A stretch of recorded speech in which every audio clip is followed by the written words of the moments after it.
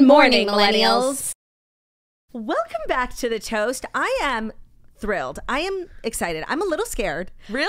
You like to me are a like an anomaly. Like you really you're very intimidating. That is the nicest thing anyone has ever said to me. You I really think that's appreciate nice. that. That's so That's funny. really sweet. It's Jackie Schimmel. I've replaced Jackie Oshry with Jackie Schimmel. I'm feeling very comfortable, very excited. A toast virgin. I am, and let me tell you, my girlfriends are very excited about this. Really? Oh yeah, I've got some toasty, toasty girls. I love that. Yeah, they're very excited. You're kind of like the reigning LA queen of podcasting. So I think I'm the self titled New York queen of podcasting. 1000%. So it's nice to kind of have a bi coastal moment. And you know what's really fun about us is that I feel like people in those sad, toxic Facebook groups have pitted us against each other for years. Mm-hmm. Oh, really? And always thought that we had beef. Oh, like I've no. heard that before.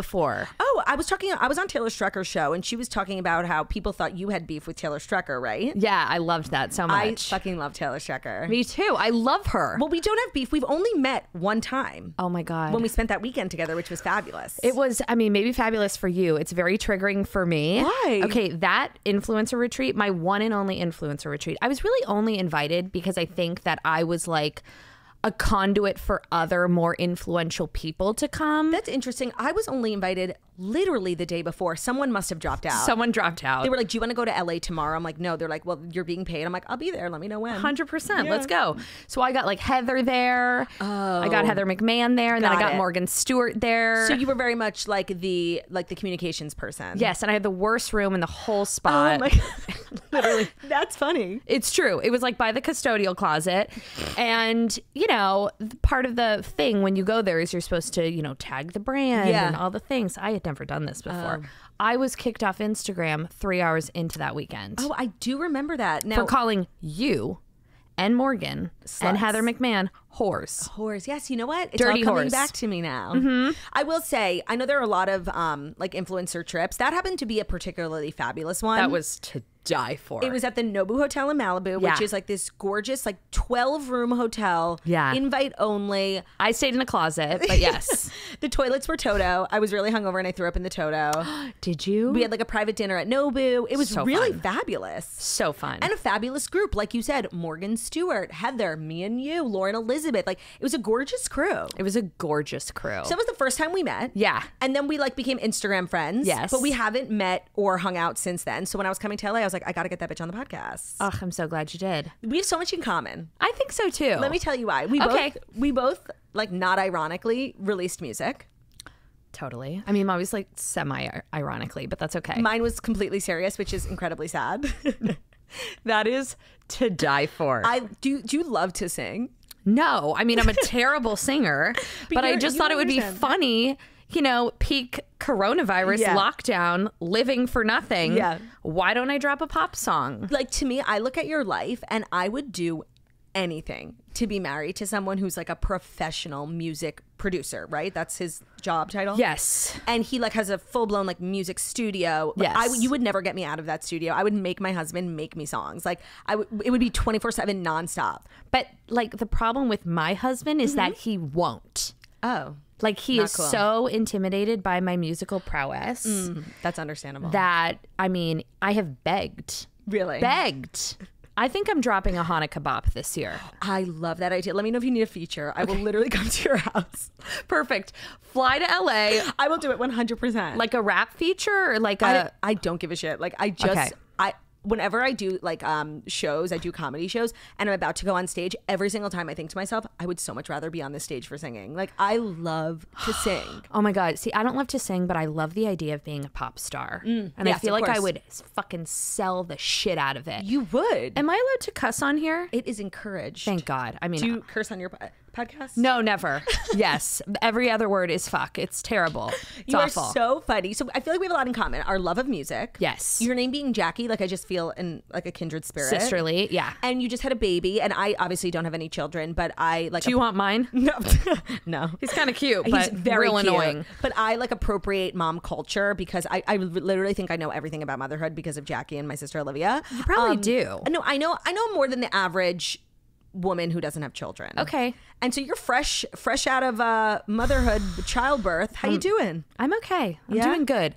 Yesterday we had a beautiful day together. Mm-hmm. The day before, um, we did do a drive by of the local orphanage in Calabasas. I know Mm-hmm. exactly where it is, And I'm thinking about getting like the Google Maps from our house to the orphanage framed Love. gallery wall As a reminder. in his nursery because there are days where I'm like, I severely regret this decision. Really? Yeah. Your if I'm being honest. No, that's I. I have like a, a very complicated thought process and relationship. Yeah. Having, I definitely want to have children. It's just like a matter of when, not if.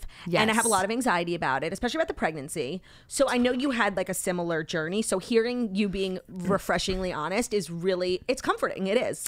I will tell you, I was so petrified of being pregnant, like more so than anything in the entire world I could think of. Yeah. And I don't know, but mine was really lovely. Fine. Like I almost, I regret saying this, um, enjoyed it. No, I, that, like to me, Makes me sick. because to me, you're like similar to me in our extreme thoughts on it. Yeah. So to hear you say that brings enormous comfort to someone like me, for real. And I think maybe Yeah. a lot of people listening who are at the same age where it's like they're married and you know they know they want to have kids, but like right now, I don't know. I know. I felt that way. I'm like, what's the rush? Like my life is fucking awesome. And then I was just prolonging it, prolonging it, and finally one month I decided to placate that bastard and then boom. Here we are. Here we are, mother of the year. And your son's name is Clyde, which is so cute and different. I love Jackie's obsessed with like baby names, especially for boys. It's very hard. so hard. What's the meaning?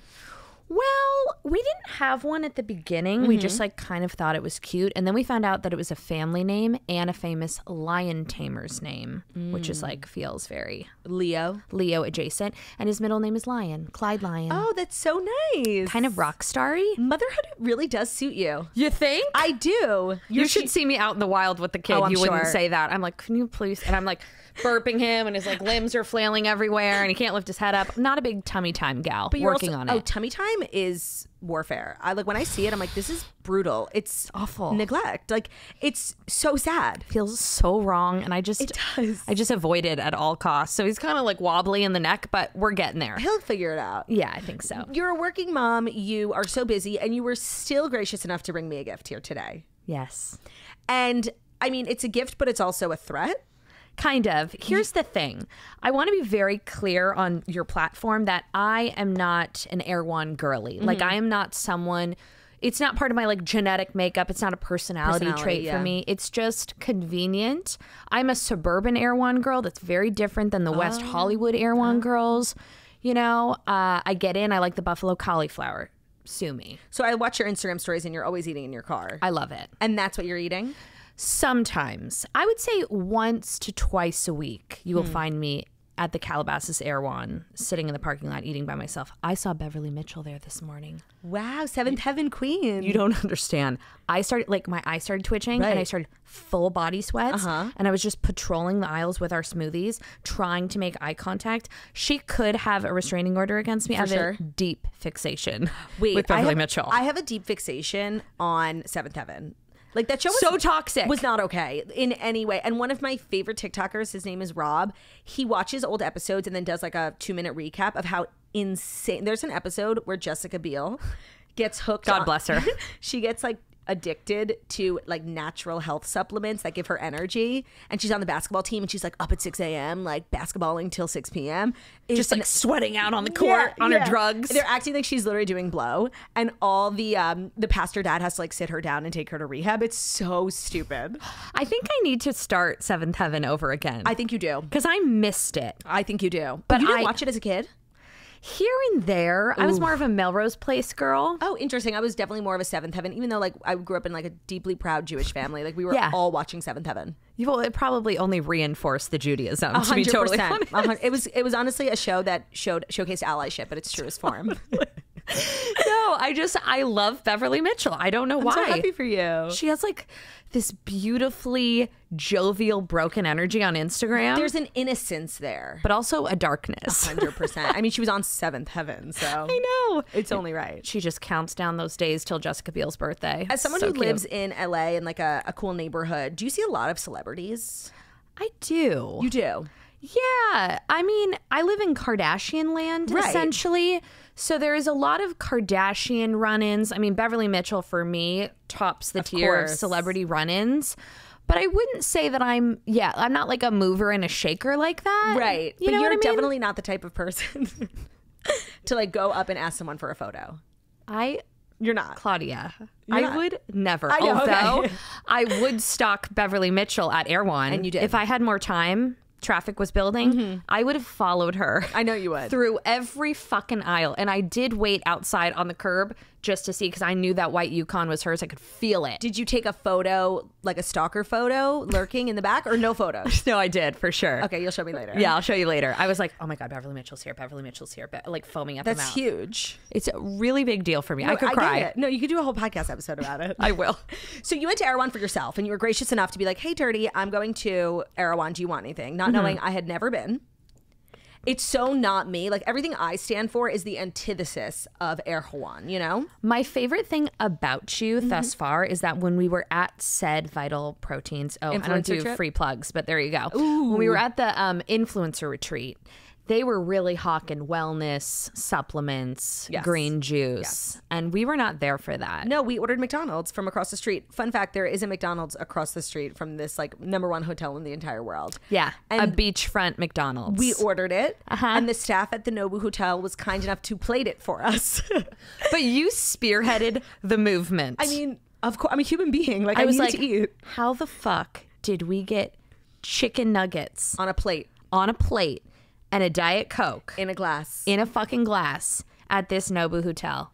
Listen, I was a woman with a dream. And you sought it through, and I just, I can't thank you enough. So you've brought me here a smoothie. So Erewhon is like a grocery store here in LA for those who don't know, and they're known for like their like juice bar kind of. All of the things, the smoothies are probably the main focus. The main event. You know, the $300 stupid ass smoothie. No, how much was this? I'll Venmo you. Never. Um, I believe it was $19. I don't believe you. which is probably on the, that's like the medium level price of an Erewhon smoothie. I ordered one one time. I started doing substitutes. They're like, it's $32. I'm like, you can go fuck yourself. and is this considered like a meal replacement? I don't think so. People in LA really need to get a grip, like a twenty dollar. So, and It's what's it? You told me this is so they do like celebrity collabs All the Hailey time. Bieber has one. This is That- the Hailey Bieber one. That is the Hailey Bieber smoothie. I have not personally tried this one. So you're What's kind in of it? Strawberries. strawberries. There's like a coconut cloud thing, collagen. I have no idea. Breast milk, No, literally. probably. All right, I'm gonna try it. Okay. And this is absolutely not a statement on Hailey Bieber herself. No, no. It's just we all know I don't really like eat stuff like this. So let's go. Mm-hmm. Okay. Tasting notes. No. It's not as bad as I thought it would be, Okay. but in no universe is this good. Okay. Is, Is it no universe is this worth nineteen dollars, let alone one dollar? Wait, w- why? Is it too sweet? Is it not sweet enough? so like milky. I feel like I'm like sucking on an udder. I don't like that. It's really um it's fucking weird. Is it like milkshake adjacent? I, if it was milkshake adjacent, it'd be finished. Okay. It's gross. Like I, I really can't describe. it. Let me take one more. But also, let me say, it does taste like strawberries. oh, well, I would fucking hope so. You know, like it is growing on me.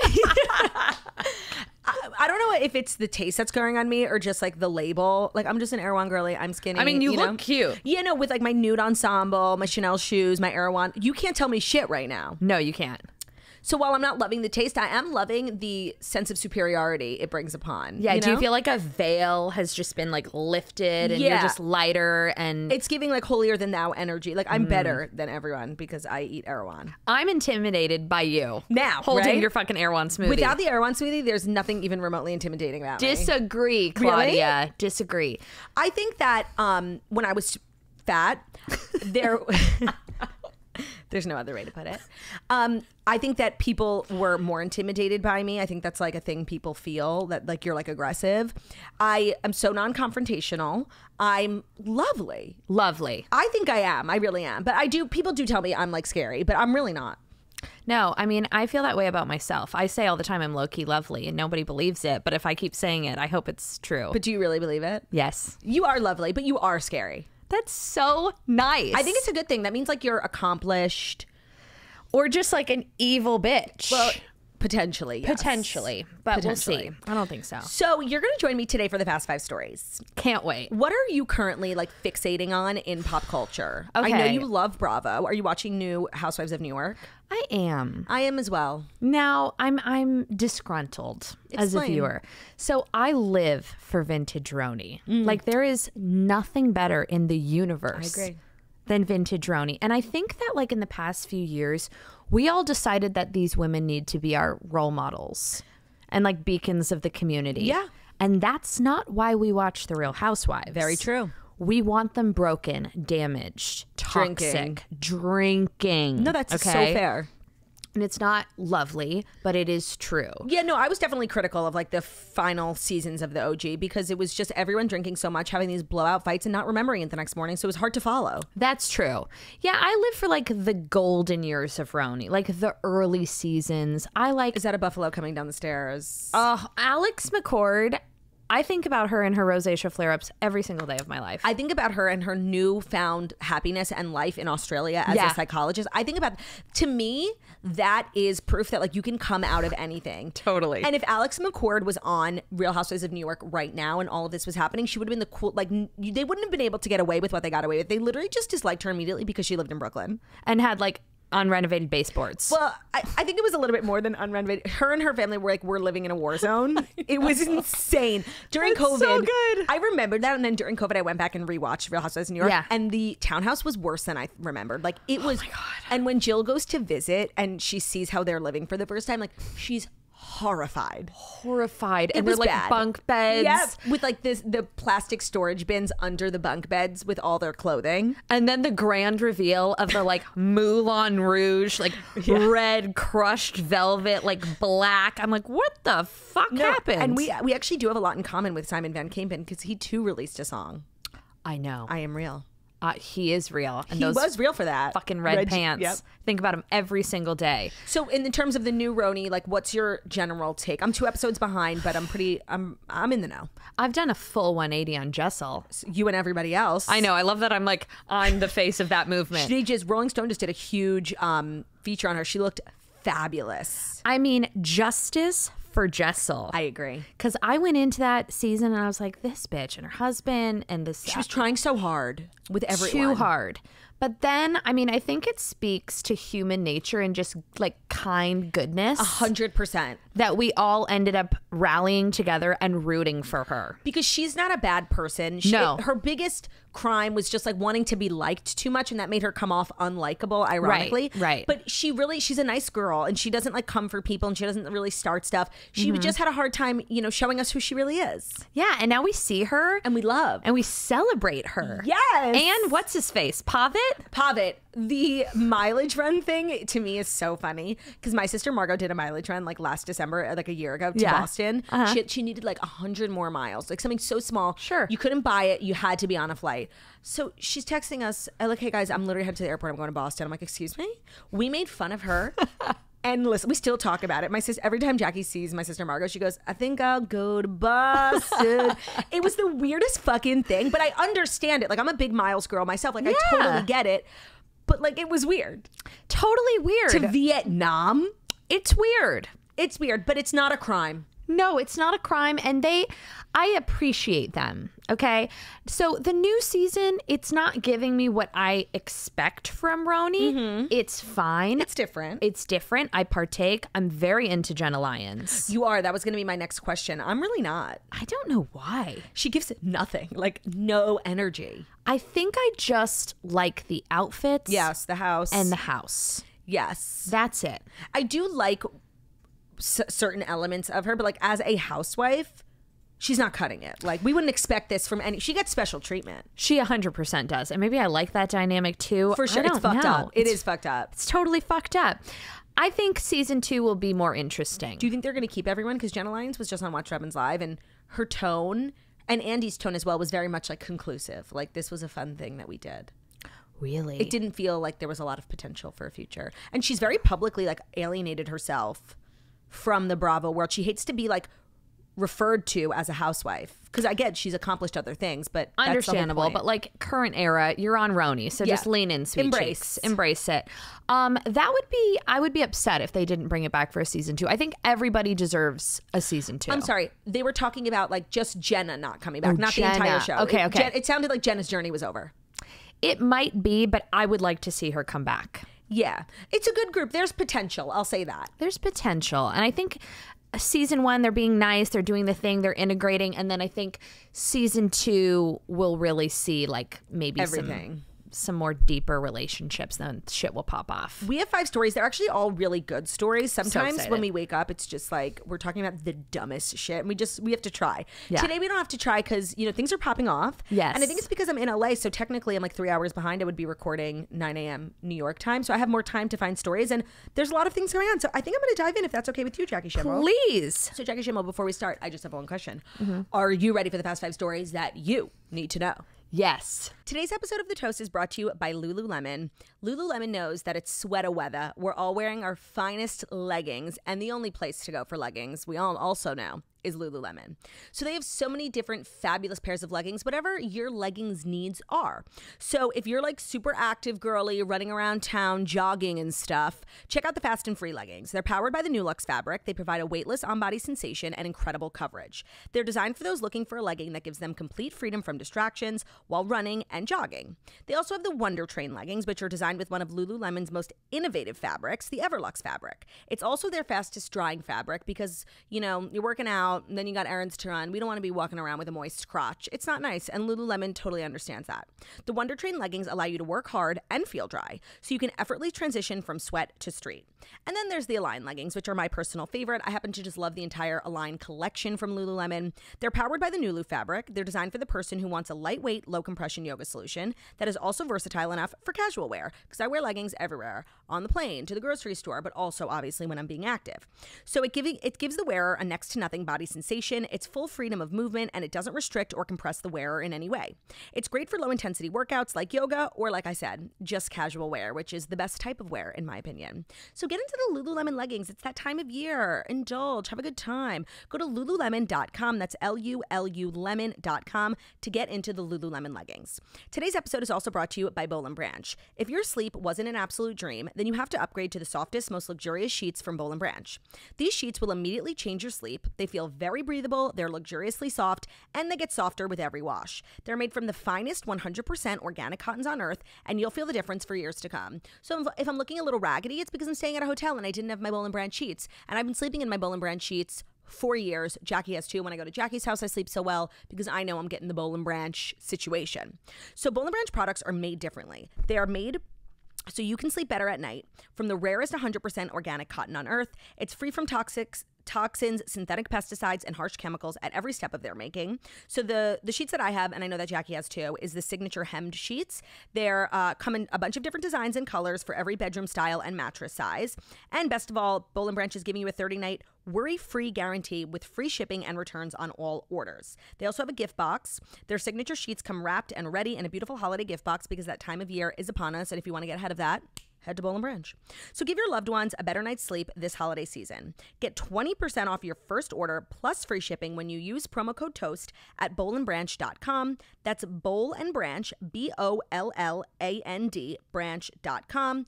Promo code TOAST. It's limited time only and exclusions do apply. So take my advice because I'm kind of an expert on all things laying down. You know, that's kind of my my area of expertise, and I recommend Boll & Branch, and I have never steered you wrong. All right, first up, Britney's memoir is is out. Okay. It's out? Uh, I don't know. I spoke too soon. Okay, whatever. It's fine. Well, there are all these stories coming out. So either the, it's out or the excerpts are out. You know, they they pitch the the PR things. Gotcha. And she's talking about the infamous uh, head shaving moment, and she's revealing why she shaved her head in 2007. So after 16 years, Britney Spears has finally revealed why she infamously cut off all of her hair uh, ahead of her conservatorship. She had said in her book, "I'd been eyeballed so much growing up. I'd been looked up and down, and had people telling me that they thought what they thought of my body since I was a teenager. Shaving my head and acting out were my ways of pushing back." However, Britney notes that once her father, Jamie Spears, took control of her personal, medical, and financial affairs in 2008, she no longer had a say in her day to day life. She said, I was made to understand that tho- those days were over now. I had to grow up my hair, get back into shape. I had to go to bed early and take whatever medication they told me to take. So, this isn't necessarily a bombshell. I think we all if we had to, you know, think about it hard enough, we would have predicted like this was her taking control of her body when so many things were out of her control. Sure, sure. Kind of like that episode of Lizzie McGuire where, where Miranda stops eating and she says, you know, my parents are getting divorced, so much is out of control, but like my, the food and my weight is what I can control. one thousand percent. So I I reson that resonated as a child of divorce with me. I will say that I have had many moments where I felt like shaving my own head. Of course, it's so understandable. Like I, here and there, I'm like, if I just had a buzzer, I'd pull a fucking Britney. I do often think about, for more so for convenience. Like Totally. if I was a man, oh my god, I would be the happiest man alive. Totally. Oh my god, just free flowing in the wind. I- Or, and I, just I could never be a woman who doesn't care about her hair because that's why do I have to be so extreme? I don't have to become a man. I just don't have to do my hair. Sure. I can't. I can't. I can't. My hair is my everything. It's the most important thing in my life. It is my uh, trouble area. You have. Oh, you know what? I love your saga on your um, Instagram about your hair. It's not great. You would never know that your natural hair is so different from this. You would die. So You would die. Is that your Jewish ancestry? Oh yeah, and it's popping up hard. It's very curly. It is coarse. It is curly. Coarse. It is similar to a Brillo pad mixed with like a pipe cleaner. Like if it was natural and I just like went like this, uh -huh. it would just stay. Stay up on its own. It would just fully stay. So do you do some sort of treatment for that? just a lot of blow dries. Yeah. Just a lot of you know grit. Yeah, a lot Yeah. of friction. A lot of friction. My question about Britney Mm-hmm. Spears, um, I understand the shaving of the head. You know, she's taken back her control. What's going on now with the hair? That's an amazing question. I do have to assume it's some sort of aftermath of being forced to be on drugs you didn't need for so many years. But the extensions. I'm Yeah. well versed in the extension world. Do you wear extensions? oh yeah. Oh, she does pounds of them, just pulling up my Clip in scalp. or tape in? I don't. I've done them all. Uh, currently, a sew-in Wow. weft. Weft? Weft. Hmm, I like that. Tracks. Lots of tracks. tracks. Got it. Yes, Britney's tracks are always showing. always showing and i'm confused if there's like a bead if there's a keratin bond who who is doing this That's the thing. I don't think anyone's doing it. You okay know? okay if I had to guess. Another big bombshell from the book that just came out is that she opened up that she and uh, Justin Timberlake, when they were together, she'd gotten an abortion. Oh. She said uh, he wasn't ready to be a dad. Wow Yeah. okay this is news to me i did not hear this So I think they're really limited in how they can promote Britney's book because she's not in any sort of condition to do a sit down interview or go on the No. podcast rounds. She's No. not going to do Smartless. No. So did you see that they're releasing Crossroads in theaters? They're re-releasing it. no Isn't that like a, a- a- as a promotional thing for her book? that is genius And so I guess they're now releasing excerpts because they have to build hype for it, but they sure. really can't. they can't send her on the road And Michelle Williams from um, Everything, I think of her from The Greatest Showman. She dawson's creek yeah, sure. she is um reading Was the audio in Dawson's Creek? I have no fucking. Dawson's Creek is another show that like similar to Gilmore Girls, like is so my demographic and my era went completely over my head. I never Same. got into it. too woodsy for me I, I do think I would like Gilmore Girls, and I, me and Ben started to watch it like a year ago. We watched the first episode, and it cut to the theme song, and Ben started singing it. I'm like, how the fuck do you know this song? He's like, I used to watch a show a lot with my sister. I'm like, oh, okay, freak. Like you, he knew everything already. i've never seen an episode I had seen the first episode, and I'm sure it's good, but I just, I didn't. no seventh heaven it's no seventh heaven, and I didn't stick with it. yeah it didn't pull you in It didn't. But um so they're do- Michelle Williams is doing the audiobook for it because I guess Britney also can't like, you know, sit down. I recorded an audiobook. It's actually like a lot of work and it's Okay. horrible. Like every time you mispronounce one word, you have to start from the beginning. It's horrible. why does michelle williams need that gig Why does She's Michelle been through Williams enough. need that gig? How do Michelle Williams and Britney Spears know one another? Is that just like an LA thing? I, maybe It makes um, no sense. Maybe they came up at the same time. Maybe. Another thing about the book that I just saw is that Christina Aguilera was on Jimmy Kimmel, Uh-huh. and Jimmy Kimmel asked if she thinks she's going to be in the book, and she was like really weird about it, making it seem like she hopes she's not because if it's in there, like whatever's going to be in there, wouldn't be good. Oh, I love that. She was like really feeling awkward, and Jimmy like wasn't letting it go. Even though, I mean, this is unpopular to say, Britney Spears makes me a little nervous. For sure, Like, we're not supposed to say fair. that. No, I think you can. Uh, people get really upset about the Britney Spears of it all. It's a it's a definitely a very delicate corner of the internet, and I Sure. I have never been a part of the Free Britney movement. Like I believed in her freedom. I thought it was bad. You know, sure, the- but like I- a little supervision is okay. Right. No. Well, so now I, I think what we're seeing is like when she had was put into a conservatorship, um maybe she wasn't a good candidate for it Yeah. but the person we're seeing now like is actually the perfect candidate for a conservatorship but she has so many bad actors around her who could you possibly trust with that sort of power if you couldn't one. even trust her own father I will say that it gives me solace that she still has her travertine floors and not marble. Yeah. It's a little slick. well and she's like always dancing around and sweating she could slip and crack her fracture her skull like But travertine has uh, grip. i know you're remodeling your house so you know what Mm-hmm. travertine is what the fuck is travertine Travertine is like, I'm really fixated on this. Your house is beautiful, by the way. Thank you. I love, I, I love all the content. Thank you so much. Travertine is that like beigey, bread colored, kind Mm-hmm. Tile? of porous tile. Got it. Natural stone. So it's not slippery. It's not. It has some grit to it. Got it. Okay, it's, it's good if you have like children running around. Yeah. Got it. So it's not Or like you're that just shiny twirling. marble or tile. Yes. I understand. Okay. Very so that is good. That's very safe. Maybe that's why she's always dancing in that particular room. I think so. It's a good landing pad for her. I would prefer a carpet. That makes me feel a little bit better. I see their living room Has you know, a, a sunken in living room because there's two steps. That's dangerous too. very dangerous. There's actually been like a lot of Britney news. Her oldest son also just turned 18, so Whoa. Kevin Federline is not qualified for um, child support anymore for that first kid. Wow. Yeah, they still have the other one, but both You're kids a real fucking journalist over there. Jesus Christ. really not actually, and I'm not even heavily like invested in the Britney movement. Yeah. my younger sister Margot was like obsessed with Britney. I I wasn't like a big Britney girl. I just know because like I do the podcast, Right. And it's like really sad, but it also is very confusing It's super confusing. because we all were like free Britney, free Britney, free Britney, and then we freed her, and we were like, oh my god, yikes. Yeah. And so now, seriously, like as from a, a human perspective, what do we do now? kind of nothing. Right. I guess we just buy the book and support. Totally. because I think she also I'm when it comes to Britney, my the most interesting part for me is her finances I'm because I don't think she has a lot. I don't think so either. And like where did that money go? And So like, many people happening? have their pockets in her hands. I mean, in her hands in their pocket. Oh my god, I can't fucking speak. Had their hands in her pockets. Yeah. For so many years that when she got out, I think there was a lot less money, and now she it's been like t- a year, two years, I don't even know. She doesn't work. Right. She takes a lot of trips on private jets. She has a big house. Like those things add up. Hundred percent. Security, Hopefully that Crossroads reboot brings some money in. hopefully. I'll be there. Hundred percent. That t- that movie left an indelible mark on me. I've started crimping my hair recently, Hmm. and Going back to your roots. yeah, exactly. I'm regressing, and I feel like maybe that is unintentionally inspired by Crossroads Britney. Didn't she have somewhat of a crimp towards the end? Toward when she got more like edgy and started performing in those clubs. she did sort of embrace like the inner edgy queen, Right. And she just kind of let it. And then she started dating that murderer, Right. and yes. Kim Cattrall turned her away from her house in Arizona. That movie's amazing. My entire first comedy special is about that movie. I absolutely love that movie, and there's so many interesting like references, pop culture references from Mm-hmm. that movie. Of course, Kim Cattrall, Taryn Manning, Zoe Saldana. I mean, I mean, of course, Britney Spears.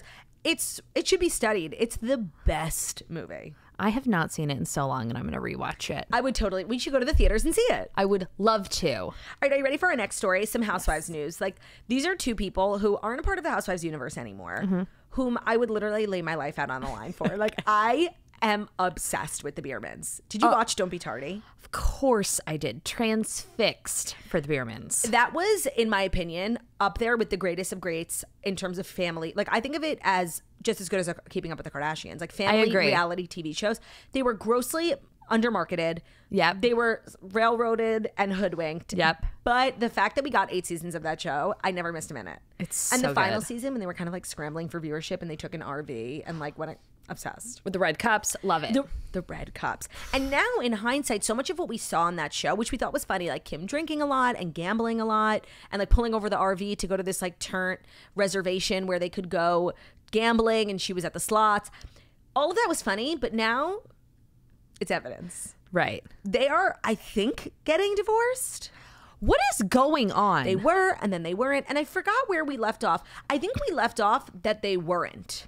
right. I thought maybe they were reconciling or they called off the divorce. But Right. She needed to go to a facility of some sort. And then there was like da- like a body cam footage when the police came into their home to break up like a domestic dispute. yeah. And now they are selling their iconic Georgia mansion for $6 million on the heels of their financial woes. So, in similar to Britney, these were two people whose financial situation I was constantly thinking about. Every day. The Net-a-Porter delivery is The bangles. The, bangles, the Christmas tree decorations. That was like Kardashian level. Oh yeah. The and I cars. the cars for the kids too. It wa- wasn't adding up. The math No. wasn't mathing. No. So now they're selling their home. The estranged couple, according to page six. So I guess they aren't together. Yeah. They have been living together amid their divorce. Listed the two story, seven bedroom, 11 bathroom, brick and stone estate on Monday at almost double what it was listed for earlier this month. So the property was built, you know, you're into real estate now. Tell me if you think this is like a fair situation. Let me- The yeah. property was built in 2008. Okay. Features a heated pool, five fireplaces, a six car garage, a full back in law suite, a separated au pair suite, a circular driveway, a chef's kitchen, and an oversized island, a full bar, An a oversized island. Get out. okay. a full size bar, a wine cellar, multiple walk in closets, an elevator, a finished basement, an in ground trampoline, a billiards room, an arcade room, a movie theater, and a gym with private massage room. How many square feet? It actually did not say. Because you know, that's important.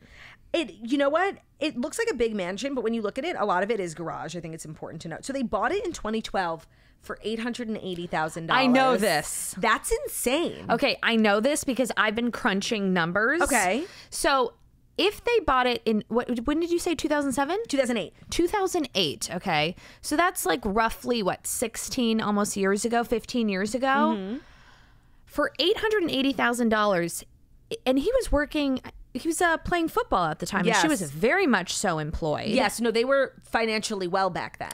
so if they put the down payment let's call it 25% they needed to come up with let's be Generous. generous 200 250 grand, yeah. okay Th- that means they only would owe 600 and something thousand dollars on the house Over the last 15 years. 15 years. You don't need 18 matte black G Wagons and 84 Cartier love bracelets. It's true. You need to pay your mortgage. No, it's true.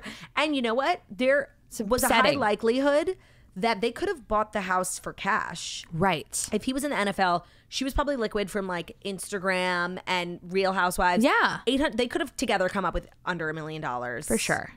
And I wouldn't be surprised. So now, I mean, how did they get the house so cheap? And wasn't there a whole storyline on Real Houses of Atlanta that she rented her house? Yes. But that's Remember, not true. they called the cops Yes. on the landlord. Yes, yes. But then they were buying the house, they were leasing to buy. I don't really know. That feels slippery to, To me, this whole situation is Housewives at its finest. 100%. Like a mansion that nobody knows where it came from. she by uh, a Chateau Sheree. Ch- The cops are showing up. I will say that also was one of my absolute favorite moments in Real Housewives of Atlanta when everyone's homes were like up for criticism and everyone's house, the Moore Manor, Chateau by Sheree, when everyone's house had a name. The doormat. People were giving the, the doormat baseboards, baseboards. the not finished basins. To me, that was peak comedy. Like it really was. It's so niche and it's so petty and it makes me so happy. Like the real estate shaming. But I just want to say, so they're selling this house for six million dollars. They bought it for eight eighty. They won't get six million. No. And uh, two months ago, they were were listing it for three million. That no. No. That I'm doesn't not flag. familiar with like the housing market in Georgia. I'm pretty sure it doesn't double in a month. No, it doesn't double in a month. But but they, this was a good investment for them. Like they should make money on this house. Unless they owe so much on it, they're not going to make Right. anything. Right, And it's just going to be collected by the courts. I don't own a house, so I'm like very critical of people's you know finances and mortgages when I myself am a renter. Um, but I'm But just that's like the beauty of I'm this so whole young, situation. You know? I'm just like young, Young, thin, fruitful. young, young girls like don't buy houses. you know? drink Erewhon smoothies. I mean. Exactly. I love these two. Like, I will be mourning the loss of this marriage for years to come. I was shocked. Sh- I was devastated. Yeah. No. Do you remember Express Mile Atlanta? Do you have any idea what I'm talking about? No, I don't. It was that teeth whitening company that like the Biermanns were always hawking. Yep. I like ya. t- to me the mystery Uh huh. behind that whole company haunts me to this day. Yeah. Like, where did they go? What happened? And like how many people's teeth fell out? Like I just I know. What were they just like it was Ba- that light. It was like an LED light that you would like shove in your mouth. with some bleach? and they were with bleach. They were always hawking that shit on Instagram. And what happened to like the skincare and the Yeah, beauty boxes And the robes. and the robes? yeah, they had a few they had kids clothing. they had kids' clothing. It wasn't for lack of trying. They had an entrepreneurial spirit. yeah, but something's got to stick. Yeah, no, and honestly, I think things like for the family really went downhill when Kroy left the NFL. Yeah. Like he was let go from he played in Atlanta forever and he was like Mm-hmm. loved there and he wasn't amazing, but he was like a good steady player. Sure. And then he got transferred, whatever it's called, traded to Yeah. the Bills in Buffalo. Look and at us talking sports. the family didn't go with him. They let him go to Buffalo by himself and they're like, "Well, let's see if this works out." And they dropped him, so he just came back to Atlanta. So it was a good thing they didn't move. Whew. Yeah, that was a dark time for the family and I do think it was the beginning of the end. Yeah, I think so. I think you're right. Okay, our next story are uh, two people I'm just forced to keep talking about. I every piece of information I receive about Jada and Will Smith is against my will. Like Yeah. I don't go searching for this. I know. But I will say I chose this as a story, and then on my way here, I was scrolling TikTok and I saw that she was on a podcast. And I think a lot of the news stories that have come out this last week are headlines from that podcast. Mm-hmm. And she was crying, crying, crying. No days off for Jada. I, I want to say like I actually felt bad for her. Oh, really? Even though I'm so fatigued by this story, like it didn't feel. I know she's like a, an actress by trade. It didn't feel like she was acting, but Okay. apparently they've been separated for seven years. So she has a book coming out. So Okay. she's on a press tour, and that's why we're still every day. It's you know More Jada, new more stuff. Will. So on paper, Jada Pinkett and Will Smith have been a Hollywood power couple for nearly 25 years, but in real life, they apparently have haven't been an actual couple since 2016. Jada told this to Hoda Kotb. They did like a Today Show segment. So Yeah. uh, excuse me, Dateline. So in a preview for that. The actress confirmed that she and Smith have been living completely separate lives for seven years. They are still married, but not romantically involved. Here's the exchange with Hoda. Hoda says, It was not a divorce on paper. Right. Mm-hmm. But it was a divorce. Jada, divorce. Oh. Whoa. So, asked what caused the mar- marriage to fracture, she didn't answer explicitly, but she does say that when Chris Rock stormed the stage and Will said, Leave my wife's name out your fucking mouth, she was shocked, quote, really shocked to hear Smith refer to her as his wife, considering they hadn't called each other husband and wife in a very long time. But they're there as a couple. yeah, Keeping up appearances. No, Why are you there with him if you're not affili- if you're not identifying as his wife, even just for the sake of but seven years, Yeah. she had that show, Red Table Talk? where she talked about marriage and family. She had the entanglement with that other guy, August. So was all that a lie? Like, I'm so confused. It is a foundation built on bullshit. Now It we don't trust Jada. Now we don't trust the red table. No, no. The table was a place for people to come together. Oh, I watched. When Jordyn Woods was on, I watched. I Same. watched when Olivia Jade was on. Same. There was a lot of iconic pop culture moments. And then they franchised the show. Gloria Estefan and her family, her mother and her daughter, got their own Red Table Talk. Is it still going? No, because Facebook Watch as a network has been canceled. Okay, got it. But they tried. Yeah. And I felt like, we, I feel we've all been duped by the Red Table. Because every, every time there was a problem with the, with the Smith family, they took it to the table. right, and it was like a place of honesty and Right. transparency. But you didn't want to say that you're not together for seven years? That's kind of a big one to hide, Jada. And I'm just fatigued. I'm exhausted by these people. Like it's so not a story. It's a story that never ends. Never. And, and I hate. Me and Jackie say this a lot. Like when celebrities have multiple documentaries. Yeah. And they say like, you know, the last documentary that wasn't the real me. Like I wasn't. So I hate when people like do something and it's like this is the truth. This is who I am. And then years later they're like, actually no, this is my truth. Yeah, Now we don't trust you. You're abusing consumerism. You are you are abusing consumerism. It's and that's how I feel here. Same. Couldn't agree more. And her book um is out. And I Everyone think, go get a copy. I think this is just the beginning Right. of stuff we're gonna hear. But this was probably the biggest. That's pretty wild. It's also really wild that they cannot be spoken about without people bringing up the slap. Can I tell you something? Please. Andrew, my husband's Mm-hmm. studio, is shares a property line with the Smith home. Wow. Yeah. And when all this shit was going down, there was helicopters Oh my God, I'm sure. circling and he couldn't even like record because of the sounds, blah blah blah. A producer's nightmare. Ugh, truly. Meanwhile, pop star at home couldn't, you know, finagle a song for me, but that's okay. Um and they live so close. Mm-hmm. And we I have never ever seen Jada or Will. Like they don't leave their little compound. is it huge? yes. I wouldn't leave it either.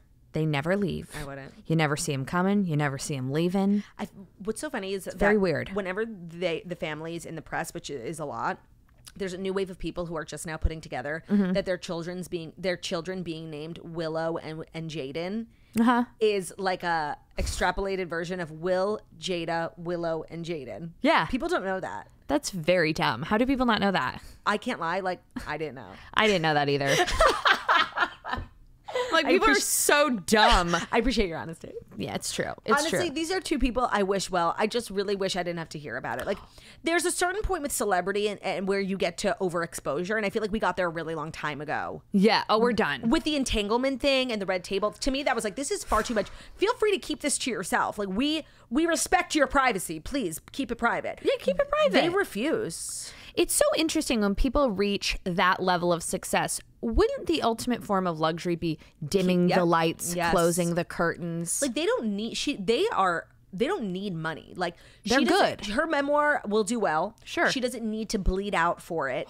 They're good. take the day off. Take the year off. So when people are out here doing the most and they like need the money to pay their rent, I respect it. yeah, tap dance, But honey. if you're overexposing yourself with millions and millions and millions in the bank, hundreds of millions, yeah, there's no excuse for that. broken energy. Broken energy, because this is a business. I get that. Sure. I respect it.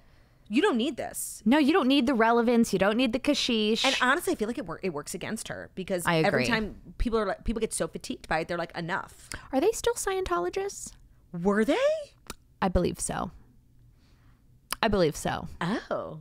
Unconfirmed, allegedly. What do I know? I believe so. I have a lot of thoughts on Scientology. so do I. What are your thoughts? Not a fan. No, of course not. I'm following this saga.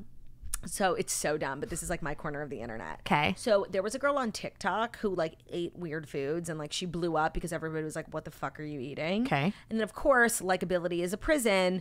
They Hmm. found out she's a Scientologist. There you go. And now it's like all the the love she had received is being, you know, sent in equal amounts of hate. Right. And I actually feel bad for her, but Yeah, she is sucks. a Scientologist. I mean, it's kind of warranted. It's just crazy when people the course. when people who aren't celebrities are Scientologists. I, I can't believe it. How do you get involved? Maybe you're like trying to meet. So I, I don't understand. I really, you have to be in a very dark place. Who are like the most? Obviously, we know Tom Cruise. Tom Cruise. We know formerly Leah Remini, Uh, what what's uh Moss? Uh, Elisabeth Moss from um, *Handmaid's Tale*. That's a shocker. and in theory, I it's hard for me because I love her in theory as an actress. Yes, But now I don't trust her. I can't support it. I can't support her. It's so terrible and toxic when you love someone and then you find out they're a Scientologist. I'm out. I just found out someone was a Scientologist, but you know what? I need to start googling things before I say them. So Okay. let me just. I just Well, John Travolta, of course, that he's also like a classic one. I feel like a lot of the the backlash against Scientology falls on the hands of Tom Cruise and John Travolta. yes. Yeah, there were rumors. Okay, that Chloe Fineman from SNL was in Scientology. That would ruin my life. But but That would ruin my not life. confirmed. And this article from MSN says maybe she's not. I hope not. If she is, she needs She's to keep that. suspected. It's crazy how it's like an investigation. A suspected. She's suspected to be a second generation Scientologist, meaning she was born into the church. I thought she was Jewish. I did too. Feynman. I would hope so. I would hope so. Oh, that's it's crazy. good. Uh, Scientology is something I'll like never. I'll, I'll never not watch a documentary about. Me too. And I still don't get it.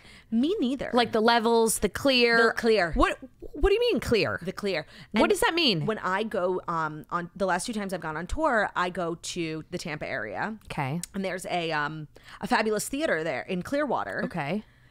that I've played at twice. That's literally around the corner from the Scientology headquarters. Scientology is Yikes. headquartered in Clearwater, Florida. The first time I went, which was in 2018, there was like a couple people on the street walking around in like flight attendant uniforms, and I was like, "What's that?" And people were like, "Oh, Scientology's based here. It's really weird." I went, came back a few years later. The town is completely, completely desolate. There are no people in town except the people who walk around in those uniforms. Oh my God. It's insane. Both times I went, I left that night. It's so freaky. And what's with the cruise ship? I What goes know. on? Like, what's with the cruise ship? I don't know. There's like a carnival cruise with Scientology. I don't get it. the levels, the clear, the L. Ron Hubbard of it all. So weird. It's fascinating. I know. I'm just like completely confused and transfixed. Like I could it. understand because I'm like a person who's deeply um like I'm easily influenced and if I was you know becoming famous and living in LA and all the other famous cool skinny people were doing this thing like I could totally see myself getting swept up and becoming like the number one Scientologist. Listen, I bought 18 different Merit eyeshadows yesterday because I saw them on TikTok. I love merit. really good. Yeah. Really nice. Very blendable. Yep. Okay. So I understand being easily influenced and like taken in, and you don't have friends, and come here, and Of your life will be better. and Community. You'll be, you know, dating Tom Cruise. Right. Sure. Sure. But little something's not right. No, and that was such an interesting part of Stassi Schroeder's first book is that her Mm-hmm. and Jax like almost joined Scientology when Which they first were living in LA and they were really young. So funny. Imagine Stassi a Scientologist. I truly could see it. I can see it. All right, our She'll next love that. story. She would. she would love that. Our next story is uh, Lance Bass related. Were you an NSYNC or a Bar- Backstreet Boys fanatic? You know what? I was a Spice Girls Yeah. person. like Like supported women in the industry. Yeah, long women it was supporting cool. women. What are your thoughts on the the ideology of women supporting women? I feel like women that feel the need to pu- like I feel like that whole notion and making that your brand in public means you probably don't support women. And are you a woman who unequivocally supports other No. women? Me neither. No. Like, are you a bitch? Are you a Scientologist? Yeah, like, th- there are levels, okay? Yeah. I don't care if you got a vagina or a penis. hundred percent. This If you're an asshole, I don't fuck with you. this blanket requirement to support people because they're women, like that's never gonna be me. Because I've met some women and I always say. I ain't marching for you bitches. no, like I I need to know you before I support you. I don't just give away support. Yeah, that's ridiculous. It's ridiculous. Like I just want to make sure we're on the same. page. yeah, yeah, totally. Today's episode of The Toast is brought to you by Drizly. Drizly is the go to app for drink delivery. Drizly is the most convenient way to get beer, wine, and spirits delivered to your doorstep right when you want it. One thing about me, I love delivery. If something's coming to my house, that's a joy. That's a gift from God, and we should be thankful. Thank you, Drizly. Their tailored experience lets you find the perfect drink for the perfect occasion, no matter what it is. You'll save time by shopping a huge selection of drinks from wherever you are. It's also a great way to discover new brands. I find myself like ordering random stuff I've never seen in a store and loving it and finding new brands that I love. So it's also great for gifting. If you're showing up for someone's house uh, for a dinner party and you forgot something, you know, the day of, you can get it delivered, and then you look like a really nice house guest, even though you're a thoughtless pig. Uh, we uh, love to plan ahead with gift giving, and the option on Drizly where you can schedule ahead a delivery and order ahead is so, so fabulous. So download the Drizly app today or go to drizly.com. That's D R I Z L Y dot com and use code TOAST to receive $5 off or a $0 delivery fee off your next order. Must be 21 or older, not valid in all states. Codes cannot be combined with any other offers. Not valid at all retailers. Code expires November 10th, 2023, 11:59 p.m. Eastern Standard Time. Thank you Drizly for sponsoring today's episode. That's a really exciting new sponsor. I use Drizly all the time. Big fan of it. In a lot of cities you can get spritz on Drizly, which we love. So thank you Drizly. Excited to be partnering with Drizly. Today's episode is also brought to you by The Farmer's Dog. You know, one thing about Jackson and I is the the love and care that we put into our Strice brothers is is of utmost importance, and I know a lot of you guys feel the same. So when it comes to giving them food, we want the best, right? We want fresh, healthy dog food, and that's what the Farmer's Dog is. They make and deliver fresh, healthy dog food. It's developed by vets, it's nutritionally balanced, and it's made from real, healthy ingredients to human food safety standards. It's the best option for dogs at all life stages because it's not kibble, it's not canned goo, it's just real, healthy food. Traditional dry and wet dog food options are highly processed and can use much lower quality ingredients than they claim to. They are extremely difficult to also portion accurately. Once you switch over to the farmer's dog, you will find enormous benefits for your dog's health. For me specifically, I found that Theo's breath was so much better. That was like a a kind of really gross thing that he had, but also I knew it wasn't normal. His breath is like good dog breath. He's making more consistent poops. His coat is really shiny. He's just got a lot of energy. And if you have an older dog, you will uh, notice a lot of benefits from switching to fresh, healthy dog food at the farmer's dog.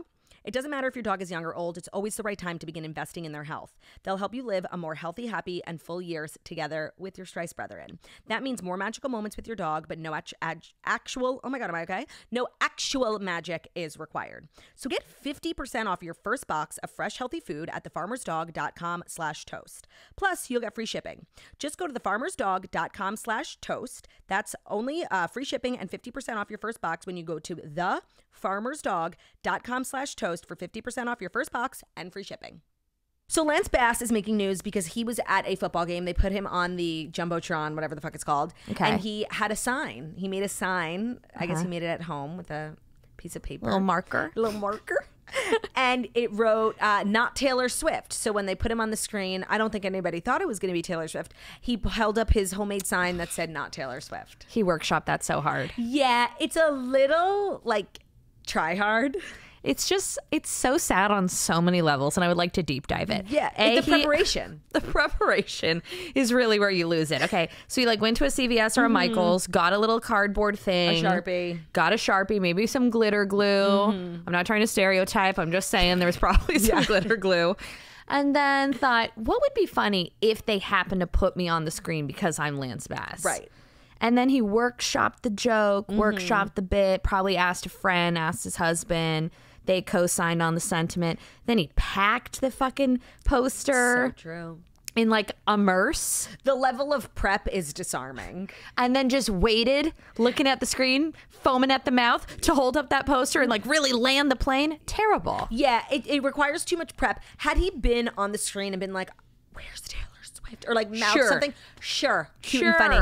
The level of prep is concerning here, Dismal. and it's just like this is what he wanted. This page six article, and it, and he got it. So I guess that's good. And we're talking about it. I did want to bring it up because I'm dying to know what your thoughts on Taylor Swift in general are, and then Yeah. as a you know current Woman in music. yeah, right. but with Travis and everything. But just for, at a glance, what are your thoughts on Taylor Swift? Okay, so I will say that um, I'm a newfound Swiftie. Love. Probably in the past like couple years, Mm-hmm. I've really found um, a deep appreciation for her songwriting Mm-hmm. skills. As a songwriter yourself. as a songwriter myself, exactly. And I do think that she is probably the greatest pop star of all time. Love, agree. It's just the truth. It's the truth. And you don't have to love the music or you don't have to love her whole environment, Mm-hmm. community, whatever. You don't have to co sign on that, but facts are facts. you have to respect it. you have to respect it. Mm-hmm. And she is the greatest to ever do it. Agree. Did you go to the Eras tour? I did not. Oh, you missed out. I was like in diapers. Yeah. Oh, oh, right. Duh. Sorry. Way more important. I was like forgot. hemorrhaging, so I couldn't go. Did you go to Beyonce? I saw you go to a concert. Um, I went to the 1975. Yes, you did. I did. And what were your thoughts when he was dating Taylor? Very briefly. I liked it. You did. Yes, I understand that. Um, maybe to the naked eye, he's problematic in nature, but I think that that's intentional and it's actually Yes. not straightforward problematic. I It's, think it's art. I think it's like It's- performance art. it's performance art. Yeah. But he's on the right side of history I think so. most of the time. Yeah. And I just think he's very hot Okay. So like, I'm lost in like a that. gerbily little way. So that's her aesthetic, like skinny, gerbily Brits. And so Yeah. now it's so exciting for He's her kinda fans. jacked. No, he's not. I know, but like Travis, okay, Now, yeah. What are your thoughts? no. No, He looks like someone that puts chips on a sandwich. he definitely does. and like eats like Cheetos and always has You residual he's on the fingers. I do not think he's hot. That might be the hottest take you've ever had Because I because do not think he's hot.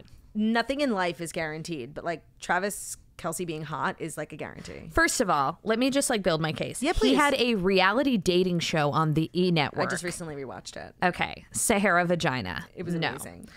Number two. He did, by the way, in his defense, recently speak on it. He said um, he was a rookie in the NFL. He got paid a lot of money and he was so excited. He ran through all of his money and he had no money. Okay, do porn. I don't care. okay, that would be better. I Do understand. OnlyFans. I don't Yeah, care. Yeah, yeah. So I don't love that. Strike one. Strike two. The facial hair and designer tracksuits.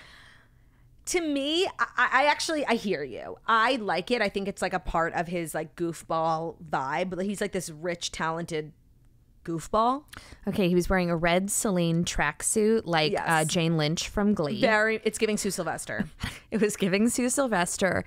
And I'm just not into like that white jock guy. i understand It's re it's like I can just tell he loves a sub sandwich with like and he puts barbecue chips on it. no i do want to say like you bringing up sandwiches like I, I I get it And I love sandwiches. no i know what you mean he definitely like I'll go to a local Italian deli and get fucking weird with sandwich. he definitely celebrates like five dollar foot long season Jimmy John's. yeah no i get it i get it but i'm shocked that you don't find him attractive I do not find him attractive at all. but you find Matty Healy attractive I do. you're fucking weird I'm disgusting. disgusting. Like that makes no fucking sense. That's completely backwards. I know, but there's something about I, I don't know. I can't describe it. Okay. It's like a raw feral energy. No, I understand. I understand. I just I don't know why I just expected you to like hate Taylor Swift. Well, I, I wasn't in love with Taylor Swift probably a few years ago. I was just like, I don't get it. It's overhyped. And then it clicked for me. What particular piece of music was it that did that for you? Um, you know, I really love Lover. I love that. Wow. song. I feel like not a lot of people became Swifties because of Lover.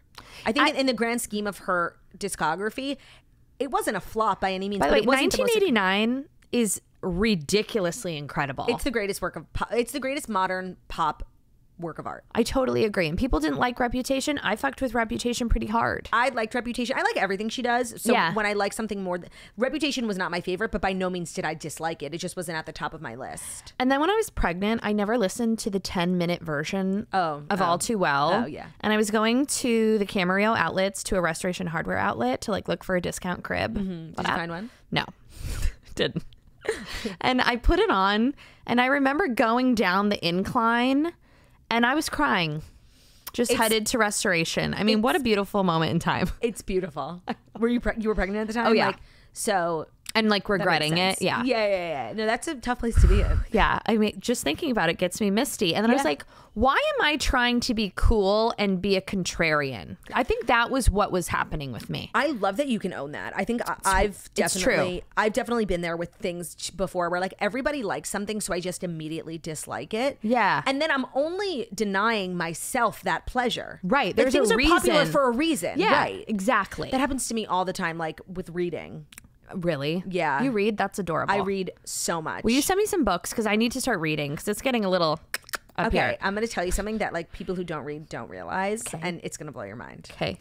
a lot of the books that like women our age read Uh-huh. and that books that go viral and books that everyone are talking about are literally pornography Yeah, no, I'm down. so i'll send if you want some it's called smut Okay, what does that stand for? i can never remember it's like sexually manipulating undertext or something i don't know Great. smut just means like a book is you know a romance novel where people be fucking you know S- Skanky hoes. and yeah. there are there are smut books that are like some of the most incredible books you've ever read and they also happen to be pornographic Send them. I have a list. Okay. It's kind of I- I've gotten a few girls into it, and like they come to me for recommendations, and and so Okay. we start easy. The, the the gateway drug to smut is Mm-hmm. this book called "It Happened One Summer." Okay. I do believe it's being made into a movie. Um, start with that, Okay. and then come to me and, and tell me you're not a changed woman after you read that. Book. I like psychological thriller porny. okay, so you would love a, an author called Freida McFadden. Okay. She herself is a psychologist and she writes short stories for her patients and she started publishing them on Amazon Kindle and Great. she became I don't even know if she's a psychologist anymore. She's the like one of the biggest authors in the world now. Perfect. I And want women short. snapping. Yeah. Oh, oh my god. Yeah. I feel like a lot of your interests would line up with different book genres. I think so. You should get into reading. I'm gonna start. Start it happen one Woman summer. of the world over here. You're seriously, and I think um Jackie really like always read, but I think with like breastfeeding and like motherhood things, like you have pockets of time where you just like lay and you don't want to be on your phone because the baby's sleeping. Sure. Reading is perfect for that. I feel like that's like my new frontier is being someone that reads. No, and then you, uh, similar with the Erewhon smoothie, you become morally superior. Right. Can you imagine Like, you saw you me outside with my child reading, Reading? a book? Reading. And then the next time, like, you have someone on your podcast and they don't read, like, you can feel better than that person. Like I was reading this book last night. right? No, and I was. I was reading this book last night. Oh my god, this could be good for me. No, and honestly, it's really, it- it's, it's actually very good for, like, your mental health, like, just to not be on your phone all the time. Yeah. I still am on my phone all the time. Sure. but Just take little breaks. I love that. It's good. So speaking of um, the unwell, our fifth and final story is about Tom Sandoval. Jackie, where were you during the scandal? I know exactly where I was. Okay, I was at Health Nut in Calabasas. That's where the Kardashians get their salads. That's where they get their salads. That they shake. Yes, so I got an iced tea there, and then I went to the East Coast Bagel next door because I was dying for a bagel with lox schmear. Mm, I'm starving. Also pregnant, and like you're not supposed to eat lox while you're pregnant. I could. I could Try see me, you not giving a fuck about any of those rules. Didn't give a fuck. I got a lox schmear. I was eating my bagel outside. I got a text message, panic text message. I believe it was from Heather McMahon actually. Okay. And it was like a 911 just page 6 Yes. screenshot.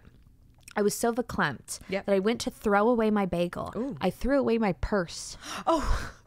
In a disgusting trash can filled with cream cheese. A Bottega. Oh, did you fish it out? Of course I did. Okay, I was like, is God it- is damn the it. bag okay? It's okay. It's a little rough, but it's okay. That's funny. I was just, I was like, I got, I got to get to my car. I got to get on my phone. I got to Yep. call. I got to make calls. Like I was sweating, panicking, Out of sorts. out of sorts. Picked up the purse, get in the car, start phoning everybody I know with a pulse. I was, I was shaken. Yeah. I was traumatized. That wormy little fuck. It was insane. Ugh. So to the point, you know, when you're reading something, I feel like we all experience when you're reading something. I saw it because James posted a screenshot of the page six thing the second it came out. Okay. And being like, what the fuck? He posted it in his feed and I follow him on Instagram. And I was with Jackie and I was like, you know, when you read words and they don't process? Yes. Like you know what the word says, but you don't know what the word means. Yes. I was like, wait, Tom, and, uh, and Affair with Raquel for nine months, or how? I was like, It was what? just not adding. It wasn't making sense. It wasn't computing for me. No. So now, in all this has happened, I'm sure you know. Tom Sandoval is on this FX show that actually a lot of people really like. It's called Special Forces. Yes. Where they take like it's kind of like I'm a celebrity, get me out of here. Beverly Mitchell was on it. She was on Special Forces or I'm a celebrity, get me out of here. I don't know. Okay. I think Special Forces. I'm a Celebrity Get Me Out of Here was like the original version where they like took a bunch of reality stars, Heidi and Spencer were on it, and they threw them in the woods and gave them like nothing to survive. so funny. And so um, it's this show where reality stars and different people, JoJo Siwa was on it. They go through like army training, like the like SEAL Team Six. Like how far could you make it? Yeah. going through like the worst of the worst army training. And Tom Sandoval is on it, and obviously everyone's talking about that, but they're talking about a particular moment from this week's episode where he's crying while taking a dump. I mean, nothing makes more sense. The Vanderpump Rules star recovers from an emotional challenge in Monday's episode by crying while pooping. He said, Dude, that was so intense, man. He says in page six exclusive preview while seated in an outhouse, knowing that his castmate, Bode Miller, is standing nearby to listen. He said, I'm laughing and crying at the same time while trying to shit. I feel so defeated out there. While the nature of the challenge is unknown, the alpine ski racer consoles the the Bravo celebrity by saying that such a reaction was the whole point of it. So he lets the camera in. Here, I'll give you a visual. He's quite literally screaming, crying, sweating, throwing up on the toilet. Disgusting. So he lets the camera into the outhouse and has this kind of breakdown on camera while shitting. And I'd love to get your take on that, Jackie. Um, is your full name Jacqueline? Yes, Okay. it is. How's it spelled? Uh, J A C L Y N. Okay. I would just like to go on record and say that I think Tom Sandoval is the biggest pussy roaming the Western Hemisphere. And I want to be very clear that pussy is not derogatory towards women. It's on. I don't know. It is uh, derived from pusillanimous, which means cowardly. The more you know. She Is that reads. Latin? I don't know.